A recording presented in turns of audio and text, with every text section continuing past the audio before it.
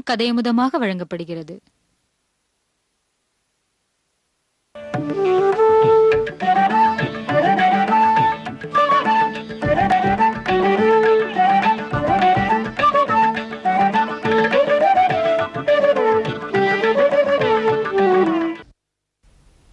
श्रीमद्भागवतन्नाम पुराणं लोकविश्रुतं शृणुयात् श्रद्धया युक्तः मम சந்தோஷகாரணம் கண்ணனுடைய கதையை சொல்ல வந்த பாகவத புராணம் அதை யார் வாசித்தாலும் கண்ணனுக்கு பேரின்பத்தை கொடுக்கிறது. பகவானுடைய அவதாரம் தொடங்கி அவன் வைகுந்தத்துக்கு திரும்பச் சென்ற வளவில் பாகவதம் பறக்க பேசிற்று. கண்ணன் துவாபர யுகத்தின் இறுதியில் பூமியை விட்டு புறப்பட்டார். உடனே கடல் வந்து துவாரகையை மூழ்கடித்தது. கலியுகம் பிறந்தது. கலியுகத்தினுடைய கோரமான தாண்டவம் கொடுமை யாது? அப்படிங்கிறதை சுகாச்சாரியர் விளக்கி கொண்டு வருகிறார். நாம் இப்போ பன்னிரெண்டாவது ஸ்கந்தத்தின் மூணாவது அத்தியாயத்தை தொடங்க இருக்கிறோம். ரெண்டாவது அத்தியாயம் வரைக்கும் பார்த்துட்டோம். ஒரு மனிதன் கலியுகத்தில் தன்னது தன்னதுன்னு நினைத்து கொண்டு அனைத்தையும் தன்னதாக்கி கொள்ள பார்த்து இறுதியில் ஒன்றுமில்லாமல் மடிந்தே போகிறான். தானத்தையும் தர்மத்தையும் மறக்கிறான். ஆனால் அவன் நினைத்தது ஈடேறுவதும் இல்லை. ஆசைப்பட்டது கிடைப்பதற்கு முன்னால் ஆசையோடையே மறித்து விடுகிறான். தன்னுடைய ஆயுள் மிக நீண்டது என்று ஓரொரு மனிதனும் நினைத்தாலும் இவன் நினைத்தது நிறைவேறுவதற்குள்ளாக காலதேவன் வந்து தழுவிக்கொள்ளுகிறார் மரணம் சம்பவிக்கிறது. மறுபடியும் ஏதோ ஒரு உடற்பிறவி எடுக்கிறோம். இப்படி மாறி மாறித்தான் உலகம் சம்சாரம் நம்மை துன்புறுத்துகிறது. இதில் கிருத்தயுகத்தில் மக்கள் எப்படி இருப்பார்கள்? தர்மம் எப்படி இருக்கும்? அதர்மம் எப்படி இருக்கும்? அதே போல திரேதாயுகத்தில் மக்கள் நிலை என்ன? தர்மம் எப்படி? அதர்மம் எப்படி? துவாபர யுகத்தில் கலியுகத்தில். இப்படி ஓரோரு யுகத்திலும் தர்மமும் அதர்மமும் எப்படி இருந்தன? அப்படிங்கிறத இப்போ மூணாவது அத்தியாயத்திலே சொல்ல போகிறார் அதிலே பூமாதேவி செய்யும் கீர்த்தனம். பூமியே ஒரு உருவத்தோடே கலியுகத்தில் தன் நிலைமை எப்படி இருக்கும் என்று எடுத்து கூறிக்கொள்ளுகிறார். இந்த அத்தியாயத்தினுடைய கடைசியில் கலியினுடைய கட்டத்தையெல்லாம் போக்கடிப்பதற்கு மிகவும் சுலபமான வழி கேசவ நாம சங்கீர்த்தனம் அப்படின்னு சொல்லி முடிவுக்கு கொண்டு வருகிறார். என்ன அர்த்தங்கிறத பார்ப்போம். முதல்ல பூமியினுடைய கீதம். திருஷ்டுவாத்மனி ஜெயே வியக்ரான்னு நிருபான் ஹசதி பூரியம் அஹோமா விஜிகீஷந்தி மிருத்யோகோ கிரீடனகா நிருபாக என்ன ஆச்சரியம் பார்த்தீர்களா? பூமி சொல்கிறாள் என்னுடைய பறந்து விரந்திருக்கிற மேல் பகுதி எனக்குள் எத்தனையோ ஆழம் உள்ளது அதெல்லாம் மக்களுக்கு தெரியாது. பூமியினுடைய மேல் பகுதியை மட்டும்தான் நாம் அறிவோம். அதிலே ஒரு சதுரடி நிலத்துக்கும் காணி நிலத்துக்கும் எத்தனை பேர் சண்டை போடுகிறார்கள்? அனைத்தும் என் சொத்துத்தானே? பேசுபவள் பூமி. அதனால் அவள் தன்னுடையதாகவே கூறிக்கொள்ளுகிறாள். இது இத்தனை என்னுடையதாக இருக்க என் குழந்தைகளுக்கு நாம் கொடுக்காமலா போவேன்?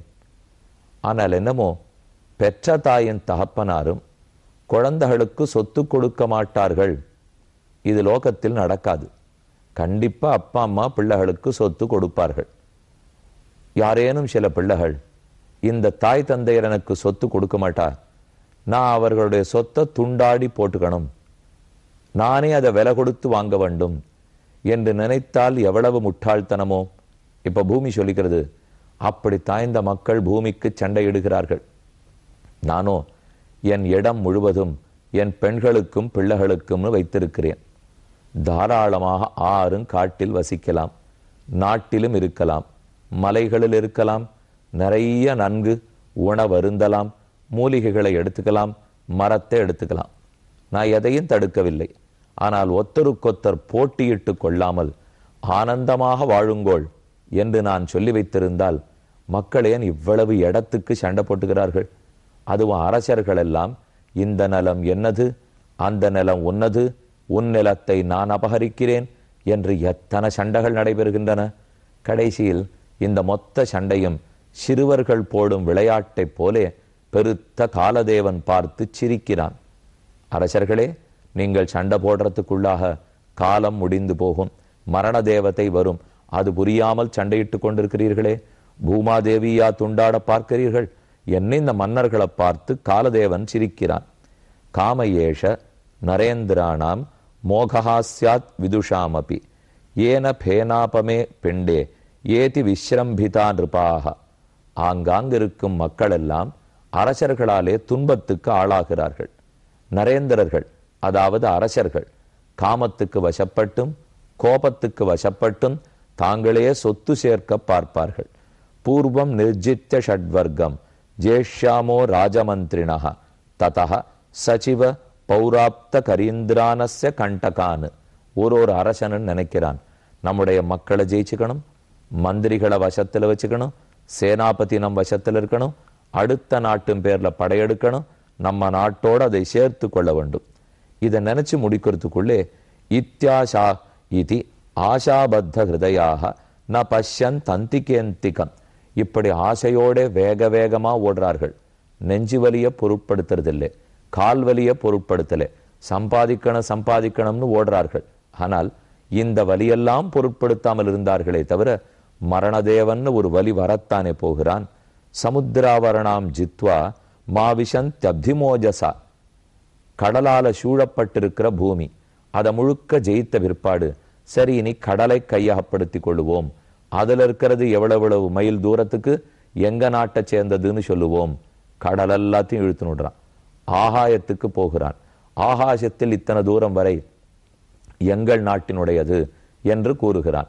அப்புறம் காற்றை பற்றுகிறான். காற்றெல்லாம் என்னதுன்னு சொல்லுகிறான். பூமி கடல் காற்று ஆகாயம் இப்படி அனைத்தையும் தன்னகப்படுத்தி கொள்ள அரசர்கள் விரும்புகிறார்கள்.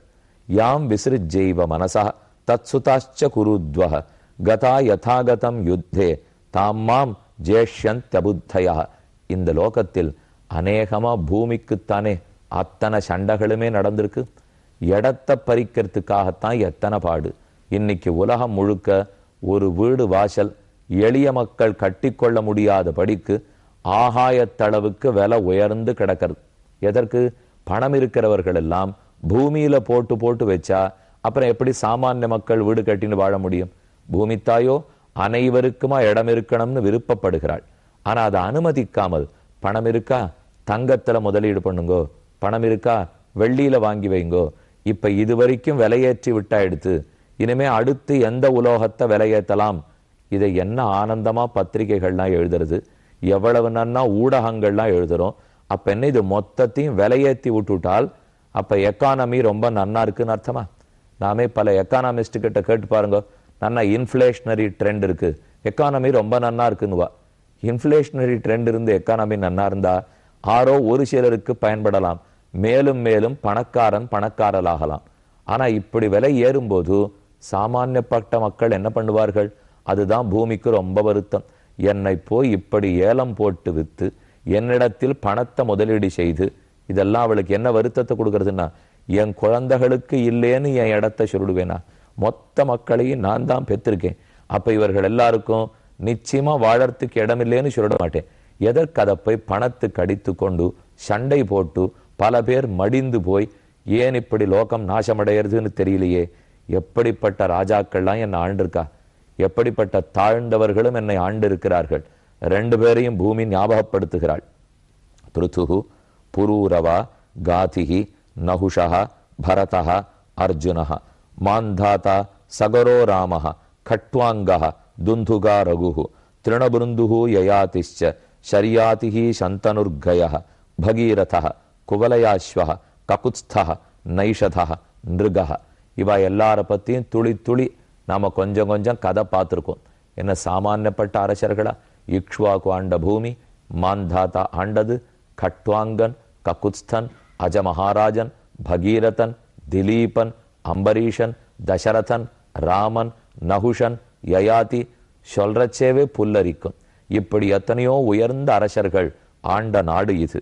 அதே போல ஹிரண்ய கசிபு விருத்ராசுரன் ராவணன் நமுச்சி சம்பராசுரன் பௌமாசுரன் ஹிரண்யாக்ஷன் தாரகாசுரன் இவர்களெல்லாரும் ஆண்டிருக்கிறார்கள். நல்ல அரசர்களும் ஆண்டிருக்கார். எத்தனையோ தீ அரசரும் ஆண்டிருக்கிறார்கள். எல்லாரும் எனக்காக சண்டை போட்டு கொண்டிருக்கிறார்கள். ஆனா ஒண்ணு சொல்றேன் கேட்டுக்கோ. கிருஷ்ணனிடத்தில் பக்தியோடு வாழ்ந்திருந்தால் அவனே இடம் கொடுக்கிறான். பெருமானுடைய திருவடிகளை நமக்கு வசிக்கும் இடமாக கொண்டாள். பூமி ஆனந்தப்படுகிறாள். ஆகையாலே எளிய மக்களையும் பார்க்கணும். நாம் இதை போல வர்த்தகம் பெருகணுங்கிறதுக்காக ஆதாரமான பொருட்களில் பணத்தை முதலீடு செய்து அதன் விலைவாசியை ஏற்றி விட்டு விடக்கூடாது அதுவும் நம்ம நாடு எப்படிப்பட்டது? இப்போ நிலைமையை பாருங்க. உலகம் முழுக்க பொருளாதார வீக்கம். பொருளாதாரம் நன்னா இல்லை.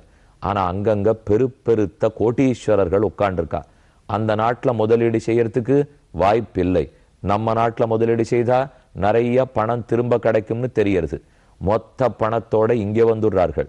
இங்கே கோதுமை விளையிறது அரிசி விளையிறது நிலம் இருக்கு. இதை போல இருக்கிறதுல முதலீடு பண்ணி இங்கே எல்லாத்தையும் வளர்த்து விட்டுட்டு வித்துட்டு பணத்தை திரும்பி எடுத்துன்னு போயிட்டாள்னால் அப்போ நம்ம நாட்டு மக்களுடைய கதி? பூமாதேவிக்கு இப்போ வருத்தமே. யாருக்கோ நான் எதற்காக கொடுக்க வேண்டும்? நம் பாரத தேசத்து மக்கள் நம்மிடத்துல வாழ்ந்து நன்னா இருக்கலாமே. அந்த நாட்டு தாய் உள்ளாள். கண்டிப்பா அவ கொடுக்கத்தான் போறா. பறந்து உரிந்திருக்கிற பூமி முழுக்க ஒரு பூமாதேவி தான் ஆனால் அவளிடத்தில் எங்கோ பணம் இருக்குங்கிறதுக்காக இங்கே போட்டு இங்கே இருக்கிற விலையை ஏற்றி விட்டுட்டு தங்கத்தை வாங்க முடியாமல் எண்ணெய் வாங்க முடியல அரிசி பருப்பு வாங்க முடியல ஒரு சின்ன குடிசை கட்டிண்டு நம்மால் வாழறதுக்கு முடியல இது இத்தனை ஏற்படுத்ததுனால் பூமியிலே நமக்கு இருக்கிற பற்று அது வேணும் வேணும் நம்ம தான் இருக்கணும் நம்ம பணத்தை ரெட்டிப்பாக்கணுங்கிறதுக்காக. எங்கே பார்த்தேனாலும் கிராமம் கிராமமாக போனால் கூட எல்லா உழவு தொழிலுக்கு இருந்த நிலபலம் அத்தனையும் நஞ்சையோ புஞ்சையோ மொத்தம் இன்னைக்கு இன்வெஸ்ட்மெண்ட் பர்பஸ் மொத்தத்தையும் பிளாட்டாக போட்டுட்டோம். எல்லாம் மக்கள் வாழ வேண்டிய பூமி உழவு செய்ய வேண்டிய பூமி. சரி மக்கள் இருந்துட்டு போகிறாள் என்ன? ஆனால் ஆரோ ஒரு சிலர் அதை போட்டு பிரித்து அதை வாங்கி வச்சுட்டு எத்தனை இடத்துல வீடே கட்டப்படலை தெரியுமா? நிலம் நிலம் நிலமா இருக்கு. உழவுன்னு நடக்கலை. வெறுமை இருக்கு. எங்க இருக்கார் முதலாளின்னு கேட்டா வெளிநாட்டில் இருக்கிறார். அப்படின்னு விடுறா. அப்போ வெளிநாட்டிலேருந்து பணத்தை போட்டுட்டு மூணு வருஷம் வச்சுக்கிறது ரெண்டு மடங்கு விலைக்கு வித்துட்டு போயிடுறதுனால் இதுவா பூமாதேவிக்கு விருப்பம். தன் குழந்தைகளுக்கு இப்படியா பூமி கொடுக்கணும்னு ஆசைப்படுவாள். ஆக பணம் இருக்குங்கிறதுக்காக எப்படியோ நடக்கத்தான் போகிறது எவ்வளவு துல்லியமாக கணிச்சு கலியுகம் எப்படி போகிறதுங்கிறத சொல்லியிருக்கார் பாருங்க. மேலே சொல்றார் யஸ்து உத்தம ஸ்லோக குணானுவாதா சங்கீயத்தே அபீக்ஷ்ணம் அமங்களக்னா தமேவ நித்யம் ஸ்ருணியாதபீக்ஷ்ணம் கிருஷ்ணேமலாம் பக்திம் அபிப்சமானாக இதெல்லாம் தவிர்வதற்கு வழி கலியுகத்தில் கிருஷ்ணனிடத்தில் பக்தி செலுத்துவதே உயர்ந்த மார்க்கம். அதை விடுத்து எதெதிலோ ஆசை வைக்கிறார்கள் என்று பூமாதேவி ஹோனுட்டு தன் குறையச் சொல்லி அழுகிறாள் பரீட்சித்து கேட்கிறான். கேனோபாயேன பகவன் கலேர்தோஷான் கலௌ ஜனாக। விதிமிஷந்தி விதம் விதமிஷந்துபசிதாம் தன்மே ப்ரூஹி யதா முனே। யுகானி யுகதர்மாம்ச்ச மானம் பிரளய கல்பயோகோ காலசேஸ்வர ரூபஸ்ய கதிம் விஷ்ணோர் மகாத்மனஹ நீர் சொல்லுவதை கேட்கும் போது உடல் நடுங்குகிறது கலி மோசமாக இருக்க போகிறதுன்னு தெரியறது எவ்வளவு மோசமாக போகும் கலியில் தர்மம் எப்படி இருக்கும் அதர்மம் எப்படி இருக்கும் இந்த கலி அதர்மத்தை தாண்டி நான் தார்மிகனா வாழ்வதற்கு வழி என்ன கஷ்டத்தை சொன்ன சுகாச்சாரியரே உமக்கும் இதிலிருந்து விடுதலை அடைய வழி தெரிந்திருக்கும் உமக்கு என்ன கஷ்டம் மட்டும்தானே தெரியும்? அதிலிருந்து வெளியில் வெளியில வர்றதுக்கும் வழி தெரிஞ்சு வச்சிருப்பீர். நீர் தான் அந்த வழிமுறைகளை எனக்கு சொல்லி கொடுக்க வேண்டும். எப்படி விஷ்ணுவனுடைய திருவடிகளை அடையணும்? கலியுகம் இருக்கட்டும். ஆனா கலியுகத்திலையும் நன்மை இருக்கலாமே. தீமையோடு தான் ஒரு யுகத்தை பகவான் சிருஷ்டிப்பரா. எதை சிருஷ்டித்தாலும் நன்மைக்கு செய்கிறான். இந்த விஷயத்தை நீர் எனக்கு தெளிவுபடுத்த வேண்டும். என்று பரீட்சித்து சுகரிடத்தில் பிரார்த்திக்கிறார். சுகர் நாலு யுகத்தினுடைய தன்மை அந்தந்த யுகத்தினுடைய தீமை நன்மை. ஆகியவற்றை சொல்ல ஆரம்பிக்கிறார். கிருத்தே பிரவர்த்ததே தர்மஹா சதுஷ்பாத்த ஜனைர்திருதா கிருதயுகத்தில் தர்மம் என்னும் பசு நாலு கால்களோடே இருக்கும். சத்தியம் தயா தவம் தானம் என்கிற நாலு கால்களோடே கிருதயுகத்தில் இருக்கும். மக்கள் உண்மை பேசுவார்கள் தயையோடு இருப்பார்கள் தவத்தோடு இருப்பார்கள் கொடை வள்ளலாக இருப்பார்கள். இப்படித்தான் கிருதயுகம் தொடங்கிற்று. கல்கி வந்தார் கலிய முடித்தார் கிருதயுகத்தை தொடங்கி வைத்தார்னு பார்த்தோம். கிருதயுகத்தில் சத்தியம் தானம் தயை தவம் நன்கு இருந்தது. இனி அந்த நாலு கால் மாட்டோட நிலைமை என்ன ஆச்சு? எப்படி நாம சங்கீர்த்தனம் பண்ணணும்னு கேட்போம்.